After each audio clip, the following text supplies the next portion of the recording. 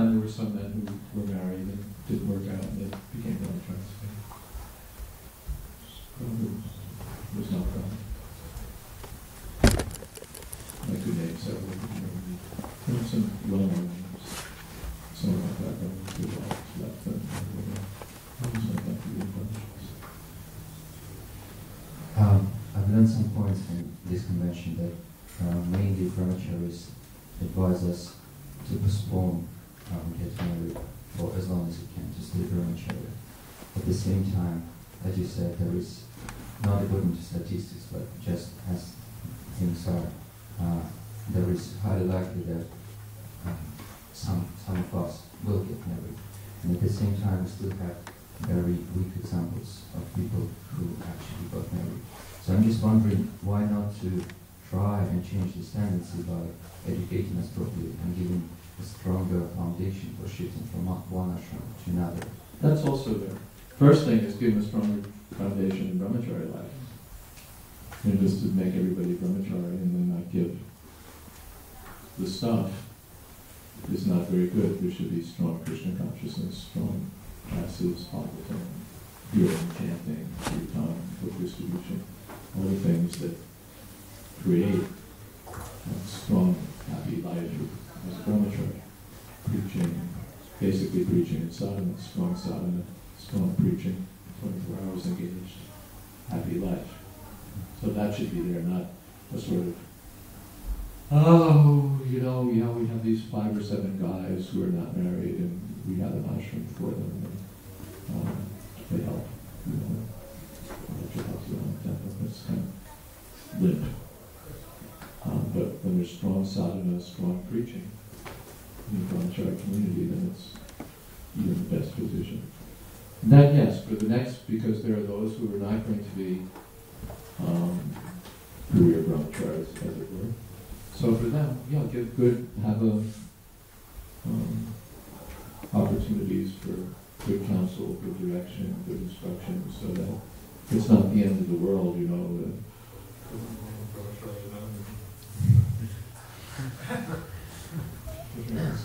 Life, is basically over. He, um, no, that he's progressive, that he's brahmachari, now he's going to be grahasta, so that's appreciated. That's another ashram, adhikari, adhikari means eligible for devotional service. So no, not, not uh, disgraceful or. So, but then you should learn what the responsibilities are as a grahasta. I gave a, uh, an infamous course, The Hopes and Horrors of Household Life. It's about 15 minutes long, so the rest is predictable. But the theme of it was that you should know what you're getting into. Because if you're expecting something unrealistic, you'll be disappointed, you'll be frustrated, you'll be, you know, why is it not working out? The nightingales were supposed to sing and the roses bloom and uh, hot bodies forever and a smiling face. What happened, you know?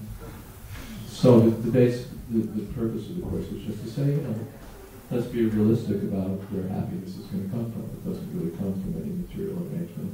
And if you get married, that's fine. Just, you know, don't try to make your um, heaven on earth out of it. You will be so disappointed. Uh, that was the theme.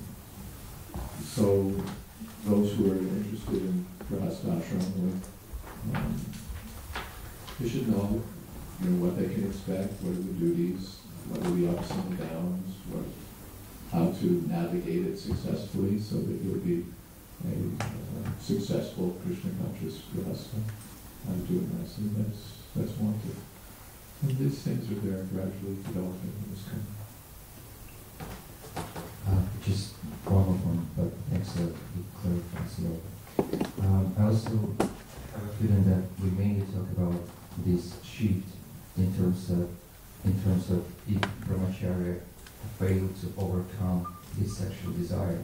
However, in my case, I believe it's more about uh, giving a life to another child, to another brahmachari. And if you think how to increase the number of brahmacharis, then isn't it that in the long run it's better to educate them from the very beginning?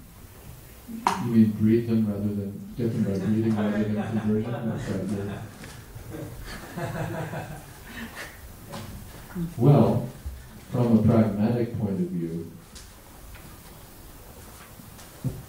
something what they call in America a crapshoot. That is to say, um, a roll of the dice. You spend so much energy and um, invest so much in bringing up a child, and then you really don't know which way it's going to go. Um, and we, we have experience of that. So, it seems to me that our, our that's sort of a shortcut way of making brahmacharis, you know, go out there and with. Um, a lot less endeavor. And they're already out there, people who are inclined to dedicate their lives to Krishna, we just have to um, canvas, you know, put up a wave the flag and see who salutes, as they say. Um, But I to yourself a lot, you know, it's cheaper, it's a lot less anxiety and so on. But if someone wants, that is the duty of the grahastha, to raise children for Krishna, for Krishna consciousness. So if one is um, pulled in that direction, fine. Do that. And then get, uh, that's respectable. It's not terrible. Prabhupada's general attitude was um, stay brahmachari. Um, but sometimes it wasn't that a person had to be you know, desperate, climb- climbing the walls, get out and have sex. And then Prabhupada would say yes. No, that those who wanted to live as responsible grahasthas, Prabhupada was, fine with that. Okay. There's one incident, one, one boy and girl joined together, they were boyfriend and girlfriend. They joined the Krishna consciousness movement, and they decided that, you know, he, he was going to be a brahmachari, and she was going to be a brahmachari. Uh, one or the other, um, maybe that, then maybe she approached Prabhupada, or he approached Prabhupada and said, this is what we want to do. Prabhupada said it was him, Prabhupada said him, but what's wrong with the lover anymore? As a Prabhupada encouraged, you're already connected, so just be Krishna conscious, not that you have to artificially separate and you go. So if someone wants to be a grahastha, that's fine. We have a, um, that will be a social function, we have a, a, uh, a surplus of qualified unmarried girls. So you can reduce the surplus by one at least. If you're highly qualified, you could take five, but generally we recommend not than one. And That's fine.